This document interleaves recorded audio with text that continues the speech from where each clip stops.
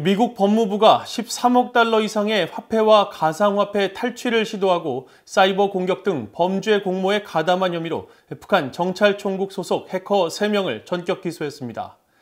미국 정부 부처들은 합동으로 북한의 암호화폐 관련 사이버 공격의 위험성을 경고하는 주의보를 발령하고 북한이 악성 프로그램을 이용해 여전히 암호화폐 탈취에 나서고 있다고 지적했습니다.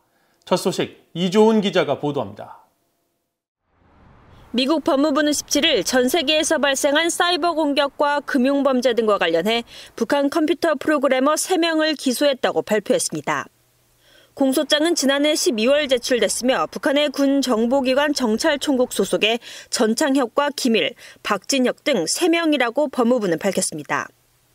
법무부는 이들이 파괴적인 사이버 공격을 자행하고 전 세계 금융기관과 기업들로부터 13억 달러 이상의 화폐와 가상화폐 탈취를 시도하며 1억 9천만 달러를 훔치는 등 여러 범죄 공모에 가담한 혐의를 받는다고 밝혔습니다.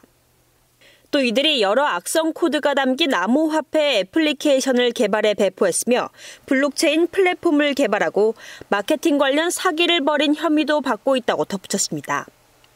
미국 검찰은 이들이 지난 14년 11월 소니 영화사에 대한 파괴적 사이버 공격 등 엔터테인먼트 업계에 대한 해킹을 자행했으며 2017년 5월에는 파괴적 랜섬웨어 워너크라이를 만들어 해킹 복구를 대가로 금전을 탈취했다고 밝혔습니다.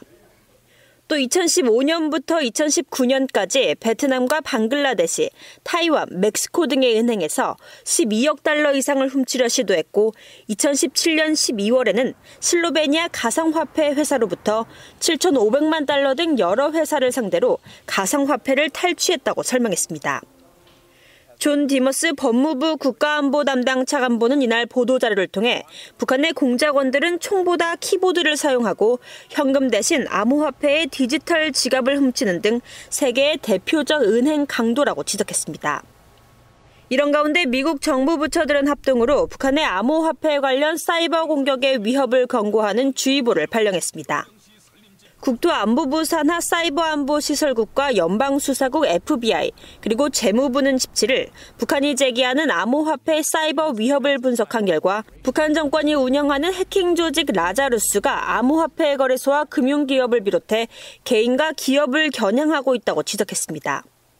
이어 미국 정부가 북한 정권 해킹 조직이 사용하는 악성 코드와 지표 등을 파악했으며 이들이 암호화폐 거래 수단을 가장한 AppleJeus라는 malware를 이용해 합법적인 암호화폐 거래인 것처럼 속여왔다고 설명했습니다.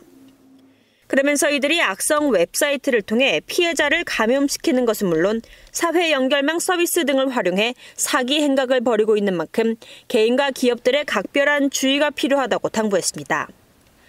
앞서 국무부도 16일 북한이 최근 신종 코로나 바이러스 백신과 치료제를 생산하는 미국 제약사 화이자를 해킹했다는 한국 국정원의 보고와 관련해 북한의 악성 사이버 활동은 미국과 세계 각국을 위협하고 있다고 지적했습니다.